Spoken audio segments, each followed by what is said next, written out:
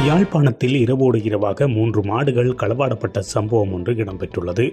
இது வடமராட்சியின் பருத்தித்துறை தம்பசெட்டி எனும் இடத்தில் நிகழ்ந்துள்ளது. குறித்த சந்தக நபர் நேற்றைய தினம் இரவு மிக லாவகமாக அந்த மூன்று மாடுகளையும் அழைத்து செல்லும் காட்சி அங்கு பொருத்தப்பட்டிருந்த சிசிடிவி கேமராவில் பதிவாகியுள்ளது.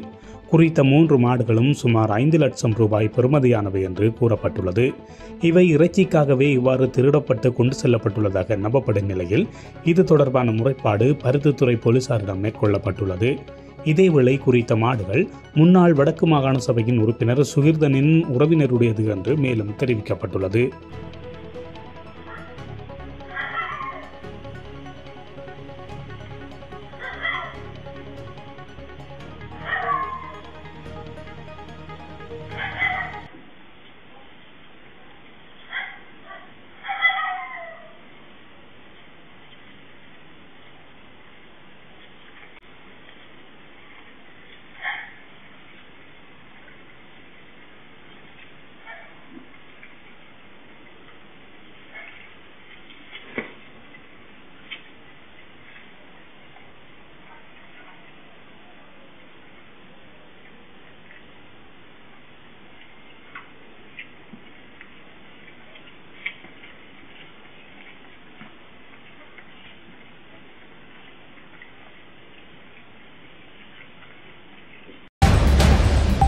இதுபோன்ற செய்திகளை உடனுக்குடன் தெரிந்து கொள்ள மீரா தமிழ் சேனலை சப்ஸ்கிரைப் செய்து இணைந்தீர்கள்